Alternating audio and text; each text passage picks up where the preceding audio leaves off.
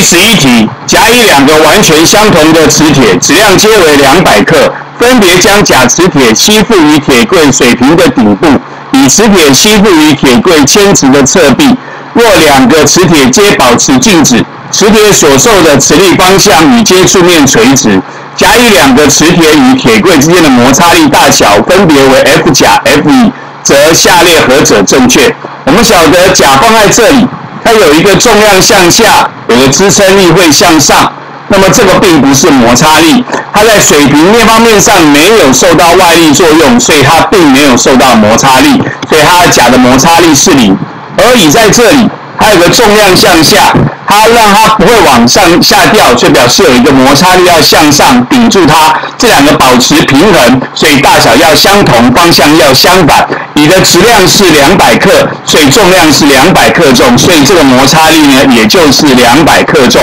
两百克重。所以我们第十一题我们说，我们的磁铁与铁柜之间的摩擦力大小分别为 F 甲、F 乙，则下列何者正确？我们答案选的是 B F 甲等于零，F 乙等于两百克重。